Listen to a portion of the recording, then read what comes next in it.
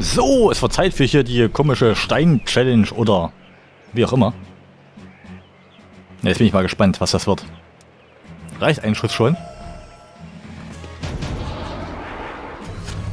Nicht ganz. Aber fast. Das gibt nicht nochmal was, ne? Doch. Erfahrung und Gold. Cool, wir haben eh nur noch 47 Gold gehabt oder so. So, der ist schon ein bisschen dicker.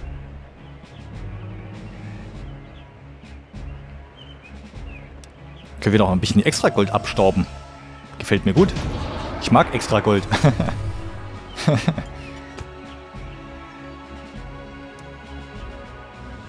Einmal ordentlich draufhauen.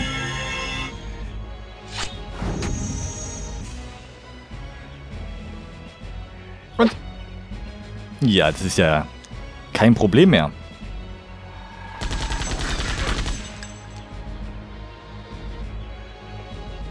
Ist schon ganz cool, dass die Gegner hier nicht mitskalieren und wir dann so die Wahl haben. Ob wir jetzt gegen die kämpfen wollen oder nicht.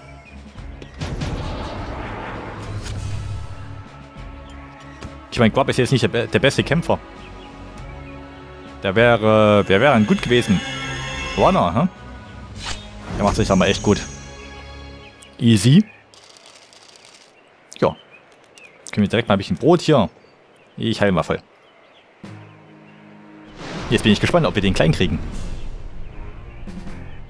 Bisschen andere Farbe. Sieht ein bisschen seltsam aus, die Farbkonstellation. Klein bisschen wie Waluigi. Kaboom. Da bin ich echt gespannt, was der noch für, für Zusatzangriffe bekommt. Der hat ja von Anfang an gar keine gehabt, ne? Auch eher selten. Korgan hatte äh, Spionage gehabt und die Celine hatte Fluch gehabt und... Ah ja, genau, auf dem richtigen. Und der hat Reparatur, genauso wie Led auch.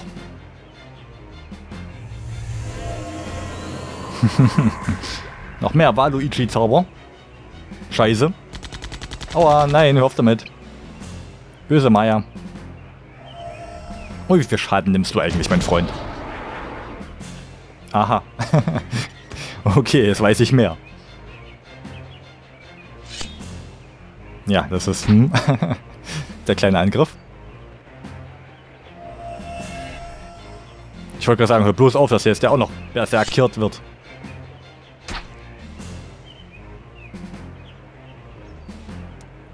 Und wie viel Schaden machen wir denn nun in unserem Blast?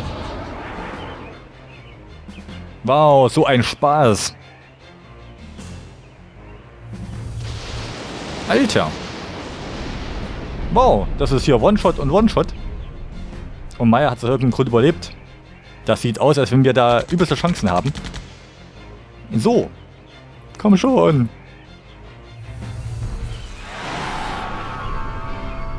Ja, das war easy. Ich wollte nur nicht mehr. ich habe dich gewinnen lassen. oh.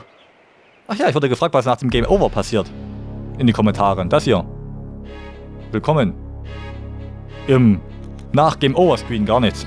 Mail Menü und dann kann man hier nur fortsetzen drücken oder laden. Über die Optionen. Und dann sind wir wieder hier. Ja, eigentlich muss ich, ich, ich muss die am Anfang nochmal umhauen. Den ersten und zweiten mache ich noch mit, den dritten lasse ich. Nur für das bisschen extra Gold. Damit wir uns zwischendrin mal heilen können, wenn wir das müssen. Und das hier geht ja nur wahrlich schnell. Einmal hier. Kapuff.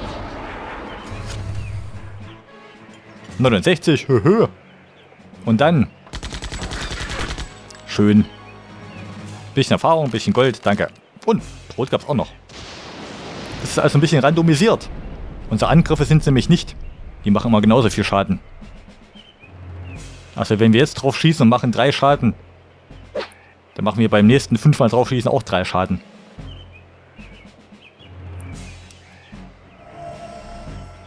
Einmal hier. Einmal hier.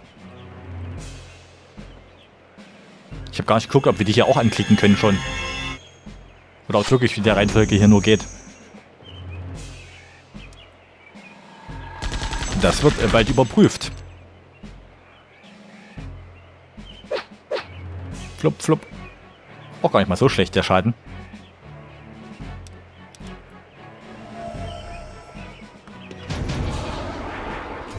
Puff. Komm schon, Guap. Zeig, was du kannst.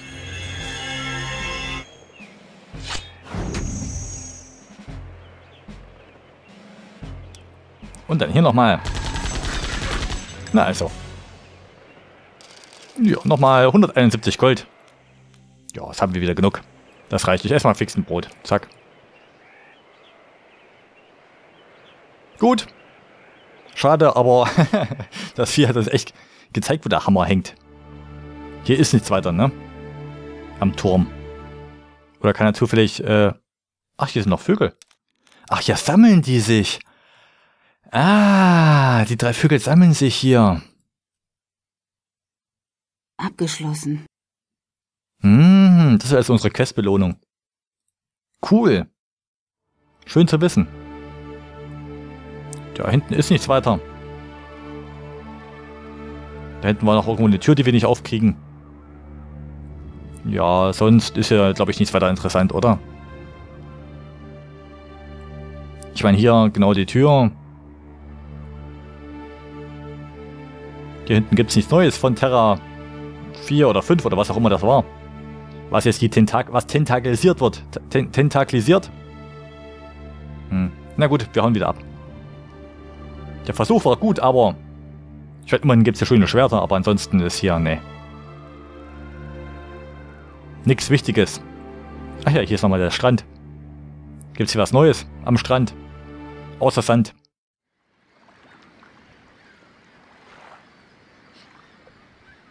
Ja. Wow, diese Fülle an Möglichkeiten, die sich hier uns entschließt, äh, erschließt. Wahnsinn. Ja, das hat sich gelohnt, der Trip. Immerhin ist es schön hier. Gehen wir halt wieder. Können wir eigentlich von hier aus direkt nach Terra 7? Bestimmt nicht, ja. Helga Kevin.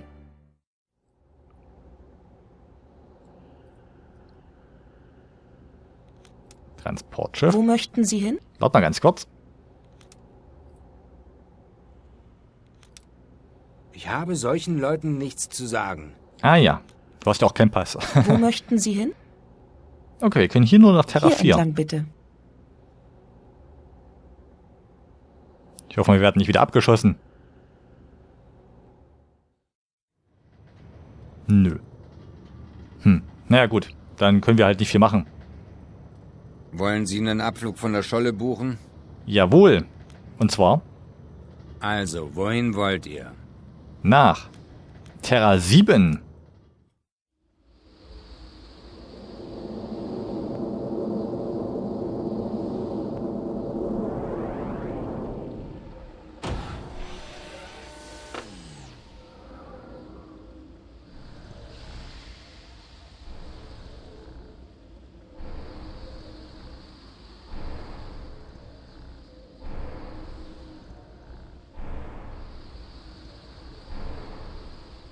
So einen Ort habe ich schon seit dem Krieg der Ressourcen nicht mehr gesehen. Was für ein Krieg? Vor zehn Jahren war dieser Ort mit Bergbauminen übersät. Die Jinnam wollten mehr Land und schickten deshalb einige Sabotageeinheiten, um Ankaras Anlagen zu zerstören. Sie waren dabei. Ich und der Captain hier haben für Jinnam gekämpft. Als herauskam, dass unsere Truppen Unschuldige umbrachten, gab es praktisch eine Revolution. Soldaten wie ich waren zu Hause nicht mehr willkommen. Und deshalb bist du Kopfgeldjäger auf dem Weltbazar geworden? Genau. In diesem Krieg verlor Aram seine Arme. Er war Sprengstoffexperte. Sei ruhig. Lass uns weitermachen. Vielleicht war er kein sonderlich guter Sprengstoffexperte. Gibt es sonst noch was zu sagen? Wir werden später eine Rückfahrt brauchen. Aha. Dann bleibt nicht zu lange. Ich fange schon an, mich zu langweilen. Erzählen Sie mir über die Leute, die hier leben. Die Underlost? Das sind keine Menschen, zumindest nicht mehr. Es gibt Leute, die sagen, dass sie schon zu lange hier leben und durch die Core-Energie mutiert sind. Oh, Was können Sie mir über diese Scholle sagen? Pass gut auf. Hier leben die Anderlost und die sind nicht besonders gut drauf. okay, das, ähm, ja. Sieht sehr schön aus hier. Erinnert mich ein ganz kleines bisschen an Morrowind. Da gab es auch mal riesengroße Pilze. Ein ganz kleines bisschen an meine letzte Untersuchung beim Arzt. Da gab es auch mal ganz große Pilze. Nein. Ey, kann ich hier wieder weg? Ah ja, da lang. Landezone.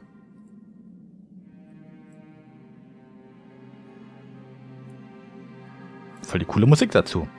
Bone Circle Village. Ja, immerhin ist es hier schön bunt, aber ganz schön chaotisch. Oh,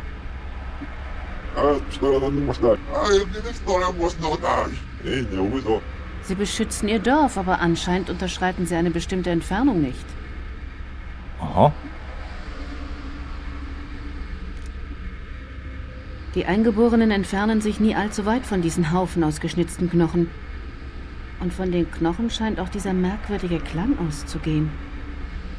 Ich frage mich, ob sie deshalb nicht weiter vorrücken. Hm. Die wollen nicht weiter vor, aber die müssen auch in der Nähe bleiben. Sehr komisch. Ja, jedenfalls die Sprache von den Viechern klang wie äh, ein bisschen was rückwärts gesprochen. Was auch immer sie gesagt haben. Von diesen Knochen gehen seltsame Vibrationen aus. Vielleicht ist das eine Art Abwehrkraftfeld, das sich die Eingeborenen zunutze machen. Sie scheinen mir nicht in der Lage zu sein, eine solche Technologie zu entwickeln. Vielleicht ist es eher eine Art Käfig für sie. Würde eine gute Zielscheibe abgeben. Die Knochenkreise oder die Leute? Wo ist der Unterschied? Ach ja, von Wasser. Äh, unschuldige Leute umbringen. Äh, mein Gewissen. Und jetzt sowas. Okay, hier wissen wir nicht so richtig, was wir machen müssen. Schön. ich hoffe, da oben komme ich weiter. Ansonsten habe ich ein Rätsel, wo ich nicht weiß, was ich tun muss. Hallo? Ist da jemand? Oder etwas? Höhlen der Ostberge. Mhm. Oh, sah ein bisschen aus wie im Intro-Video. Oder? Klar. Dieser Teil hier. Vielleicht ist es auch nur Zufall. Das war irgendwie beim Chor auch so rötlich. Na dann. Die Ostberge. Hier gibt es bestimmt. Oh, Krabben. ich würde sagen, hier gibt es bestimmt Gegner, aber. Oh nein! Ich war so gut am Rumschleichen. Bäh, zwei von denen. Ich bin mal gespannt, wie, wie viel Damage wir jetzt machen können.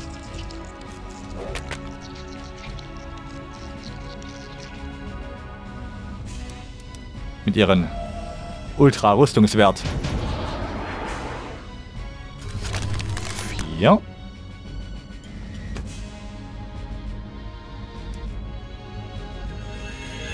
Ich glaube, du drei und Maya auch nochmal vier, hm? Mhm. Läuft bei dir. Naja. Das geht schon. Und das ist jetzt wirklich nicht so sehr viel. Ah, hast du schlechtere Rüstung? Muss ich direkt mal schauen. Ja, du hast ja keine ordentliche Rüstung an. Du bist ja neu. Stimmt ja. Den haben wir keine Flakrüstung oder was auch immer gegeben. Jetzt stirb halt mal. Oh, der Angriff macht drei.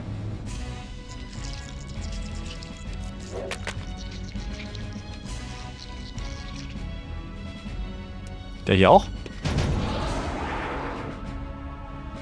Mhm. Immer wenn ich so eine Frage stelle, schießen wir daneben.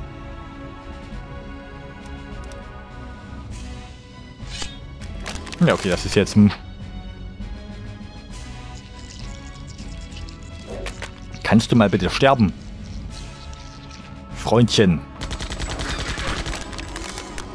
Das wäre schön. Komm schon. Komm schon.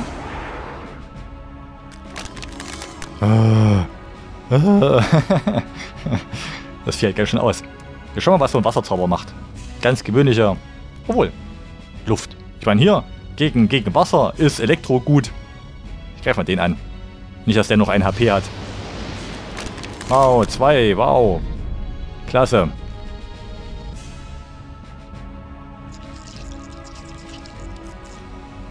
Und der Kreissäge? Eh, halt, ich war schon richtig. Eins. Mhm. Naja.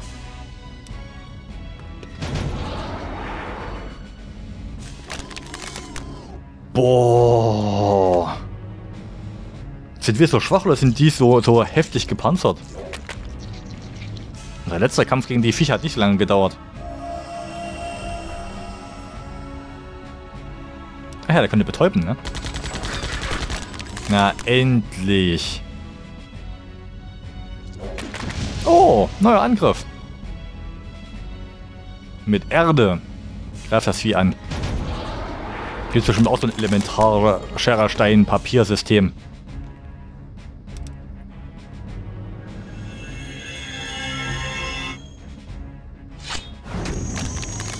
Hier schauen nur mal ganz kurz. Wasser. Wasser ist sehr effektiv gegen Boden. Weiß doch jeder. Und? Ja, gut. War zu erwarten, aber... Hm. Äh, den will ich haben. Min-Maxing.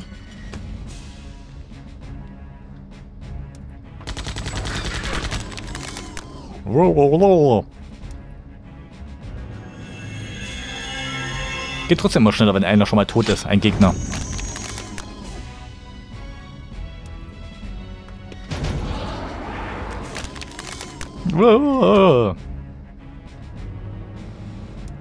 Hm? Ein böser Zeigefinger. Verteilt auch schön gleichmäßig den Schaden. Frage ich mich, ob es Gegner gibt, die auch wirklich immer nur auf den Schwächsten gehen. Oh, der macht hier nur zwei. Mir gar nicht aufgefallen. Ich habe immer nur fest draufgehauen.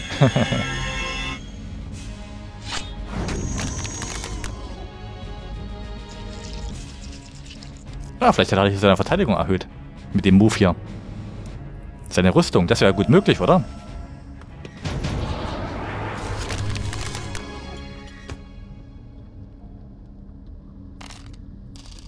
Ordentlich. Gold und Gedöns. Ich kann jetzt mit dem Trank heilen. Aber Trank ist halt auch übelst teuer. Ich glaube 2000 oder sowas. Und hier 50. 50, 100, 150, 200. Hm. Schon ein bisschen billiger. Irgendwann habe ich einfach nur 1000 Brot im Inventar. Hm. Mehr Gegner. Auf der anderen Seite wäre ein bisschen extra Gold auch wirklich nicht verkehrt. Wir waren ein bisschen verschwenderisch. Beim Ausrüsten. Wir wollten all die geilen Sachen haben. Und da gab es immer noch weitere Charaktere. Die wir natürlich auch ausrüsten wollten. Ah gut, die vier gehen jetzt nicht so lang.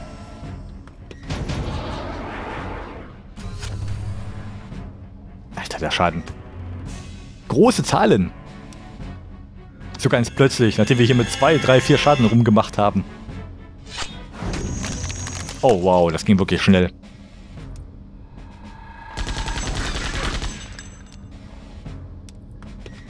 Boom. Ah, cool, schießt nur mit einem Arm. hey, guck mal, ich habe hier eine Attacke. Ich kann mit meinem Arm schießen. Und außerdem habe ich eine doppelt so starke Attacke in meiner Hinterhand. Mit beiden Armen. Ach ja, die Viecher.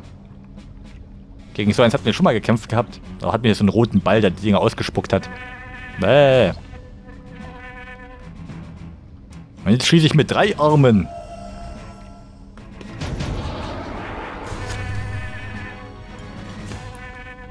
Krasser Gegner, krasser Kampf gegen einen krassen Gegner. Fettes YouTube-Thumbnail. so. Hallo, gibt's hier auch mal was? Oh, bisschen größer, aber da ist eine Sackgasse. Sackgassen sind immer gut. Mag ich als äh, Gamer sehr gerne. Aber nur wenn es da auch was gibt.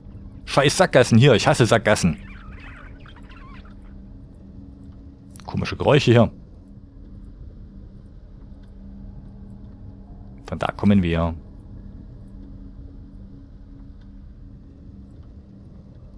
Hm, hier schönes Bad nehmen, das wäre jetzt toll. Oh, nice. Ja, jetzt pass mal auf, lieber Zuschauer, was hier am Schlüssel ist.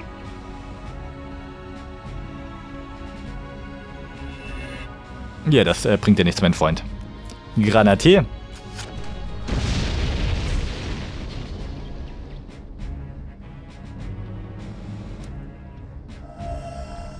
Und bitteschön, fang. Ah, nice. Schön. Ah, 999, yeah. Gemaxt, wie bei Zelda. Ist hier oben noch was?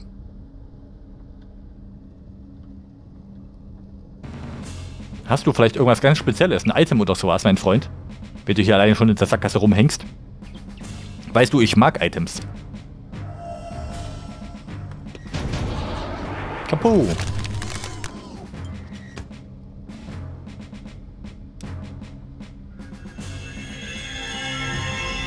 Schade, dass man bei solchen Gegnern nicht irgendwie was tun kann. Irgendwie Armor ein bisschen reduzieren oder... Ich weiß doch auch nicht.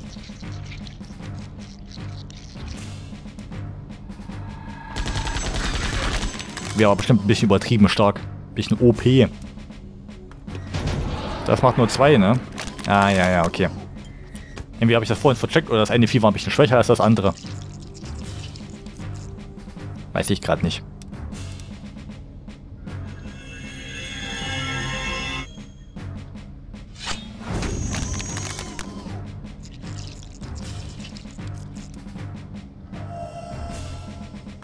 Sieht trotzdem ganz cool aus, das Vieh.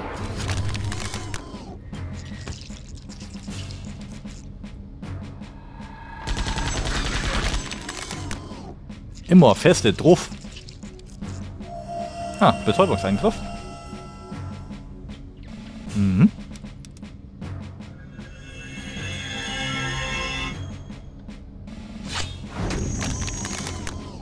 Mal schauen, ob das Vieh dazu kommt. Die böse Krabbe. Die Krabbe der Unkaputtbarkeit. Nö. Mal wieder zu langsam. Und kriege ich ein cooles Item. Komm schon. Komm schon, Spiel. Du willst es doch auch. Ach, scheiße. Hier gibt's gar nichts.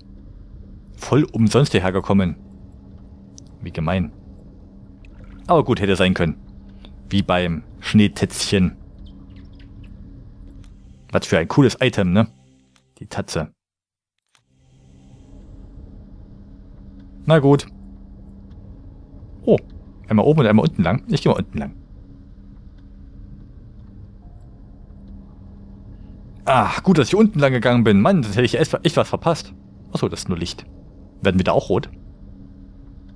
Nö, sieht man nicht so richtig. Hm. Komische Höhle. Der Moderwald. Schöner Name. Stollenruinen. Finsterer See. Hm. Okay. Der ist ganz schön groß, der finstere See. Moderwald ist auch ziemlich groß. Und schön zwischendrin hier so ein Feurio. Hier Burns auch. Naja, machen wir in der nächsten Folge, würde ich sagen, oder? Zuerst Moderwald oder zuerst Finsterer See? Ich meine, Stollenruinen klingt nicht so cool, aber... Ich glaube, wir gehen erstmal ans Wasser. das sieht so schön aus. Ja, aber... Hm, dir geht's gut. Der macht hier übelst Party mit 800 BPM lässt sich gut tanzen und zwar genau so. Warte. Ja, ich habe ein bisschen weniger als sonst. Bestimmt, weil sie überall rumblinkt und macht. Oder der verbraucht 30 FPS. der zieht einfach nur die CPU-Leistung, warte. Nee, scheinbar nicht. Wäre aber lustig gewesen, wenn es wieder auf 240 springt. ja, schön. Na gut, bis in die nächste Folge. Mach's gut.